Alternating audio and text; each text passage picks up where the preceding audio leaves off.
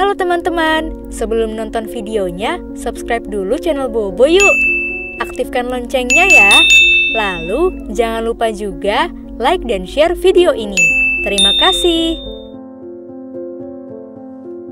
Aku punya seekor kucing yang lucu. Namanya Bumi. Dia sangat manja. Setiap aku pulang dari mana pun, dia langsung menyambutku di depan pagar rumah.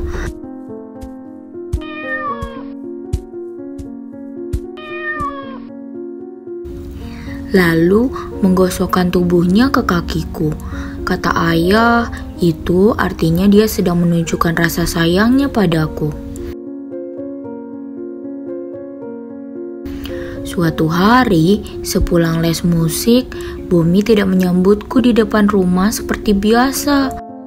Aneh, biasanya dia langsung berlari saat mendengar aku membuka pintu. Bumi ke mana ya? Atau mungkin dia sedang tidur di rumah. Baru saja aku melangkah masuk, tiba-tiba ibu menghampiriku. Kata ibu, Bumi hilang dari aku berangkat sekolah. Gawat, bagaimana kalau Bumi tersesat dan tidak tahu jalan pulang? Dia kan tidak pernah keluar rumah, apalagi hari sudah mulai gelap. Aku segera mencari sambil memanggil-manggil Bumi di sekitar kompleks.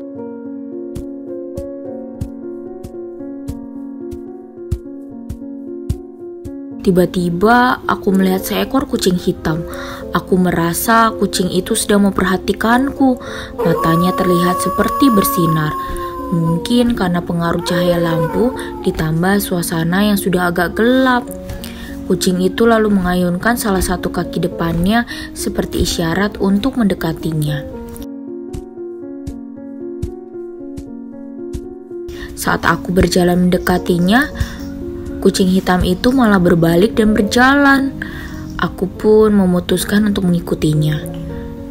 Mungkin dia tahu di mana Bomi berada. Aku mengikuti kucing hitam itu sampai ke gang buntu. Lalu di ujung gang ada Bomi yang sedang meringkuk. Aku langsung memeluk Bomi. Tapi aneh, Tadi kan aku sudah lewat sini dan Bomi tidak ada. Atau mungkin aku tidak melihatnya karena gelap.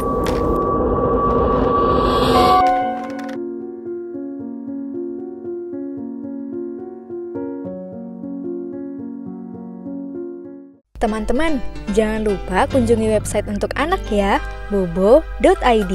Like, comment, share, dan subscribe juga ke channel Bobo yuk!